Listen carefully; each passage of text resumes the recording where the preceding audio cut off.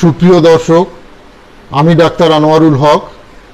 আজকে আপনাদের সঙ্গে শেয়ার করছি সোরামায়াজম সোরামায়াজমের চোখ, কান, নাক, গন্ধ, ঠোঁট এবং মুখমণ্ডল। অর্থাৎ সোরামায়াজম হোমিওপ্যাথিতে ঔষধ নির্বাচনের সময় সোরামায়াজমের যে রুগী আসে, তার প্রথম দর্শনে যে অঙ্গগুলো আমরা দেখতে পাই তার সঙ্গে সম্পৃক্ত যে সিমটমগুলো আছে, সেইগুলো আমি আলোচনা করছি যে কীভাবে সোরামায়াজমকে আইডেন্টিফাই করা যায় এবং আইডেন্টিফিকেশন করার মধ্যে দিয়ে একটা সঠিক ঔষধ নির্বাচন করতে হবে যাতে রুগী পারমানেন্টভাবে কিওর হয়। তো প্রথম, সোরামায়াজমের চোখ।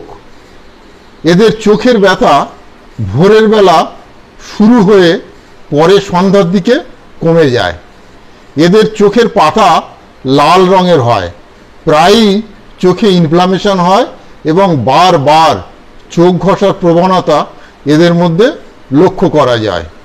সোরামায়াজমের কান, এদের প্রায়ই কানে ফোঁড়া হয় এবং কানে সর্বদা চুলকানি হওয়ার প্রবণতা লক্ষ্য করা যায়। এদের কানের ভিতরটা অপরিষ্কার বা নোংরা থাকে। কানে অনবরত ময়লা জমে। সোরামায়াজমের নাক। এদের নাকে ক্ষত বা ঘা দেখা যায়। এটি সোরা এবং সিফিলিসের মিশ্রণের সংকেত বহন করে। নাকে যন্ত্রণাদায়ক ব্রণ হতে দেখা যায়। সোরামায়াজমের গন্ধ কেমন হয়? বিভিন্ন গন্ধ এরা সহ্য করতে পারে না।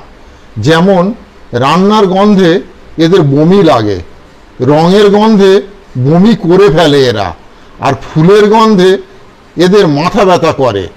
যে কোনো সুগন্ধির গন্ধে এদের মাথা ঘোরে। সামান্য গন্ধে এরা সহ্য করতে পারে না। এই সমস্ত গন্ধে এরা খাবারে অনিচ্ছা প্রকাশ করে। সোরামায়াজমের নাক কেমন হয়? সোরামায়াজমের ঠোঁট কেমন হয়? আগেই নাকের কথা বলেছি। সোরামায়াজমের ঠোঁট কেমন হয়? এদের ঠোঁট দুটো প্রায়ই নীলচে দেখায়।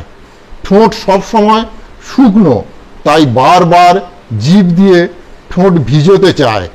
জ্বরের সময় এদের ঠোঁট লাল দেখায়।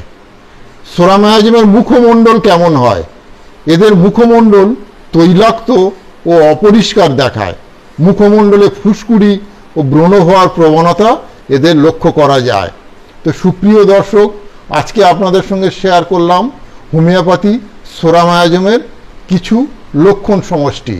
এইভাবে লক্ষণ সমষ্টি দেখে ঔষধ নির্বাচন করলে, মায়াজমেটিক মেডিসিন নির্বাচন করলে রুগী স্থায়ীভাবে আরোগ্যের পথে অগ্রসর হয়। তো এই ভিডিওটি যদি ভালো লাগে ফলো বা সাবস্ক্রাইব করুন, পাশে থাকুন, আমি পাশে আছি। শেষ পর্যন্ত ভিডিওটি দেখার জন্য অশেষ ধন্যবাদ। ভালো থাকবেন। Thank you